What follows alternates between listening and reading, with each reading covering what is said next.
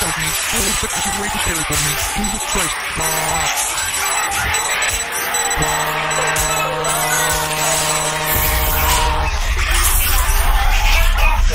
Oh my god, thank you Jesus. I am fucking done with this game. I can finally be done with this game.